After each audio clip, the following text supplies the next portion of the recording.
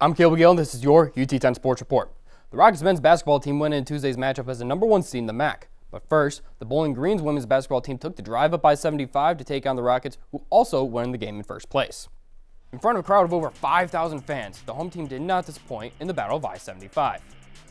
Freshman forward Jessica Cook got the Rockets on the board first, and even though BG matched with two points of their own, there was no looking back for the Midnight Blue and Gold because before you knew it, the Rockets had a 15-8 lead on the Falcons. Toledo went on an 8-2 run to start the second quarter, and junior guard Quinesha Lockett was unleashed, completely taking over the game with 11 straight points for the Rockets. She would end the night with 24. UT was able to take a 12-point lead into the half, leading BG by a score of 35 to 23, thanks in part because of this connection right here, right down the line to Lockett right there. An 11-4 run to start the second half of the Rockets helped them to extend their lead to 21. Falcons did go on a little bit of the run of their own, though, trimming the lead that the Rockets had 53 to 37. However, Rockets scored nine more points to end the quarter, taking a 63 to 41 lead into the fourth. Scores from junior center Hannah Noveroske and Jessica Cook extended the Rockets' lead 69 to 41 to start the quarter, and junior guard Sophia Wiard put her finishing touches on the game, scoring one from beyond the arc late. UT beat the crosstown rivals by an astounding 29 points with a final score of 80 to 51, getting the season sweep against Bowling Green. The men's team for the Rockets may have gone in Tuesday's game with the best seed in the MAC, but that did not scare the Golden, Kent State Golden Flashes. Heading into Tuesday's matchup, the Rockets had not lost a home game yet this season, but Kent State would prove to be a tough matchup.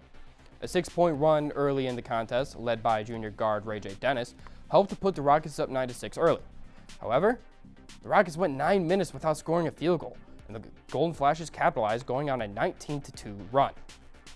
The two squads went back and forth, with each team going on separate runs of their own heading into intermission. But Kent State still at that led at the half 36 20. An angry Rockets team came out hot to start the second half, scoring seven of the first nine points. But Kent State was still able to maintain a sizable lead throughout the entire second half, and they wouldn't even blink. Even when a triple from freshman guard Ra'Heim Moss shortened the Flash's lead to only 10 points with still 11 minutes left in the, half, or the game.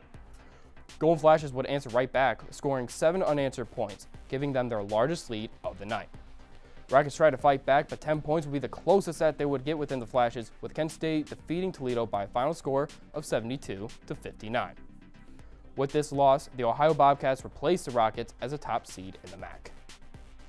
Both teams will be back in Savage Arena this Saturday, February 19th, with the men, women's basketball team playing Ball State at 2 p.m. and the men's playing Central Michigan at 7 p.m. before the two teams will be on the road next week.